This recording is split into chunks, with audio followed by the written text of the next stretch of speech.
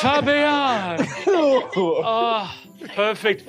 Your companions. Yes, they're all here. Say to Aelwyn, watch this, watch this. He goes, and you, Hey. my sweet. and you see he touches something in his pocket, and you just hear it goes, Gorgug. What's in your pocket? What? I just said your name.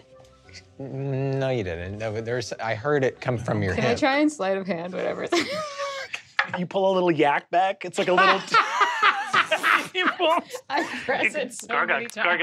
Gorgug, Where'd you, uh, I forget. Did, did I give that to you? Um, I relied on the Yak Bak that I might pronounce your name correctly. oh, wow.